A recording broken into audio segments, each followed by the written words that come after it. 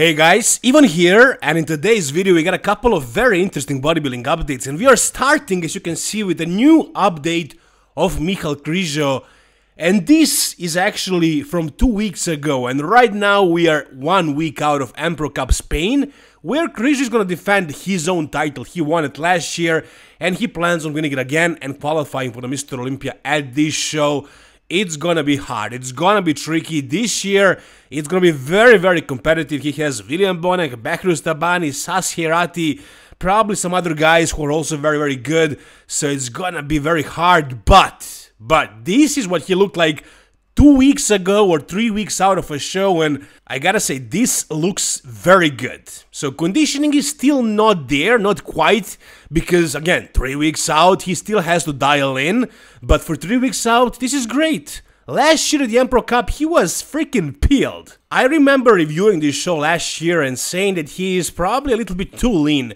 a little bit too shredded and too hard for this show. He probably could have it even without being this peeled. I mean, it was a close battle, not really a close battle, but Andrea Presti here on the far right was actually very good, but because of his leg size, he still couldn't win this, and Krizo, he was freaking shredded and rock hard.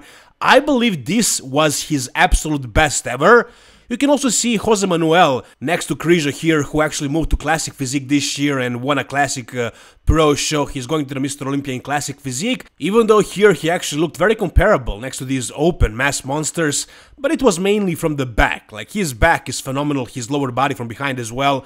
Other poses, he's not really quite there. He could be a great open pro, he maybe will be one day, but that's besides the point. The point here is Krizo, who is most likely gonna win this show again. He's my favorite for sure. And no, it's not only because he's also from Eastern Europe, no, it's because his physique is untouched. It's so clean.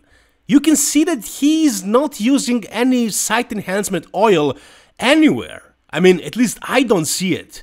Like, if he wanted to, he could put some in some body parts and make them better, make them bigger. Like, I don't know how much sense it would make, but his glutes need to be bigger. I don't even know if that would work. I know wellness girls are doing that, but I don't know how much it would work out for an open bodybuilder because you need to show striations. But I think he would look better if his glutes were simply bigger and less striated. But anyways, look at his back. Look at how detailed it is. Look at the shoulders as well. How much separation is there the hamstrings as well, the lower back. Like, look at the details in the lats. Like, he has details, he has fibers, very visible everywhere, basically. I don't think guys in Europe are doing uh, that stuff as much as the guys in the US. It's not a thing over here, I don't think so. So, you know, usually guys, when they have a weak point, they have more trouble and it takes them more time to, to fix it but they always have this clean, this quote unquote natural look, right? You can see the fibers, you can see the details that you often don't see in some other big name open bodybuilders. They all just look kind of watery and not super separated. They get lean, they get very lean, but they never get that crazy separation. And it's probably because of the use of insulin, and I'm guessing SEOs maybe, a combination of those two things. I mean, I don't know for a fact, but I think it's a pretty good guess. But it doesn't matter. Whatever is the reason, Krizo has that clean, that separated, that untouched look, and that's why I like his physique so much. Sure, I would like to see him make more progress, especially in the glutes and like uh, in the posing, but I think he improved it a lot from this show. This was one year ago. I think he did a much better job at the Mr. Olympia and then at the Prague Pro as well. I think this year he's gonna be much better in terms of like uh, presentation and also complete development. I think his glutes are better now, his back is also deeper.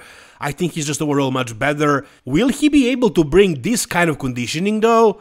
I don't know. This was really sick. This was really freaking peeled. This was next level. And also, he didn't lose the fullness. For the Mr. Olympia, he did get very, very lean, but he lost the size a little bit. He lost that fullness. Here, he was full, he was hard, he was shredded. This was his best. Maybe his posing was not as good, and again, he improved his back and his glutes, I think, for the Mr. Olympia, or at least he changed the posing to make it look better. But as far as like the peak, as far as the conditioning and the fullness and all that, this was his best peak ever. And again, this is a three weeks out. So here he's probably flat. The lighting here is like the worst possible. Uh, he's not pumped up. He's probably this is probably in the morning. So like uh, three more weeks of dieting and then you know doing a peak week and putting the tan on and standing under like really good lighting. Yeah, I think he's gonna be somewhere around where he was on that stage, and in my opinion, that's gonna be enough to win this show. We'll see. We'll see what William Bonac is gonna look like, Behruz Tabani, Sas Heirati, and the others. But right now, I do have Križo winning this show. What do you guys think? Alright, next up, we got Samson Dauda again. Yeah, I know, I already talked about him yesterday, but he posted this physique update from the back. He's showing us his back progress, and when I saw this, I was like, wow, like how much progress is this guy making everywhere, especially in his weakest body part, his back. When I saw this, I was like, does he really even need to improve this back anymore? Or is it basically maxed out for his genetics? Like, sure, you can see that his lats are a bit higher, but he added so much muscle to that back. It, it's crazy thick right now. It's, it's crazy dense. He added so much tissue, it's insane. I don't know if you guys even remember, but up until recently, his back was a weak point. I mean, look at his back right now. Would you say that his back is weak? Like, would you say that Derek Lunsford's back is looking any any any thicker than this back right here? I mean, I wouldn't even say it's bigger than this. Yeah, his lats are a bit high inserted, so like in the back double next to Derek Lunsford, he won't look as good, but just standing there, just walking around, like, can he really add any more muscle to this back? Just look at it right here when he is standing relaxed. Look at his freaking thickness. I said it yesterday, and I'm gonna say it again. When I see Samson Dauda, I am getting Ronnie Coleman vibes. And yeah, I know Ronnie Coleman is on a next level, sure, but like who else reminds you of Ronnie since Ronnie Coleman more so than Samson Dauda? Who else would you choose?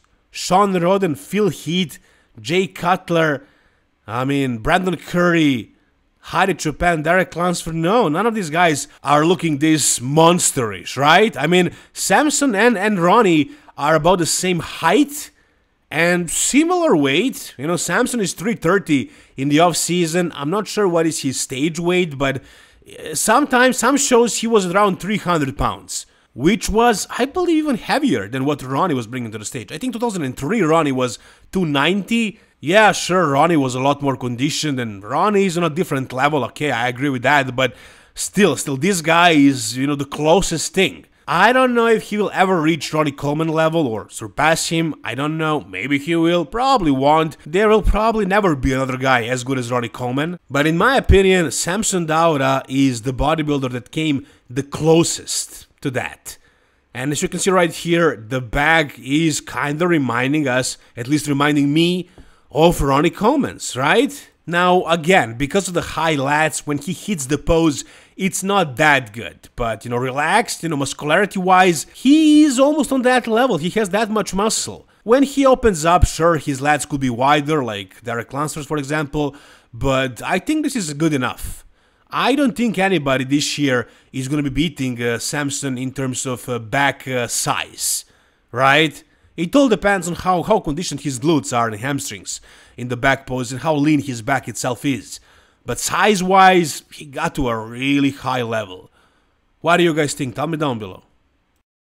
Alright, we also got a physique update from our current 212 Mr. Olympia champion, Keone Pearson.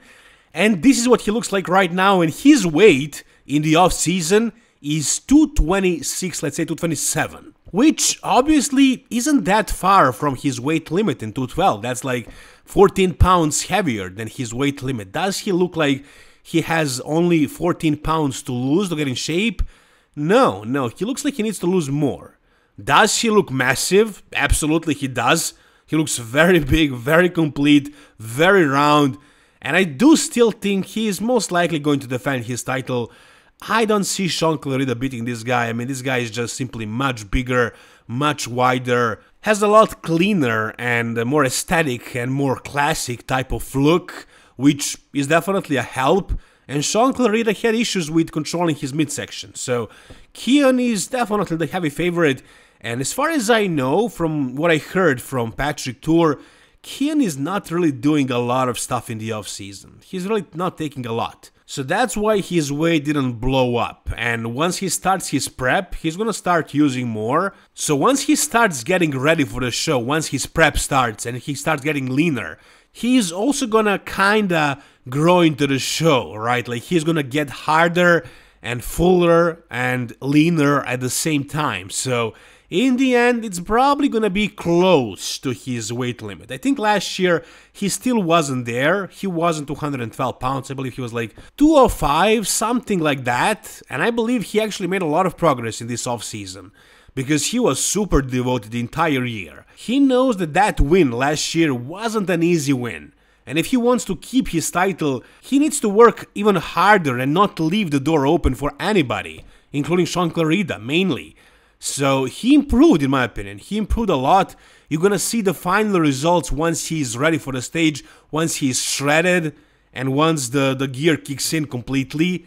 But right now, this is looking pretty phenomenal. And it's actually crazy to believe that this is only 220, 26, 27 pounds. Yeah, sure, he's shorter, but still, still, I would expect him to be like at least 240 right here. But no, no, 226 and a half, which is absolutely crazy for this look, for this size.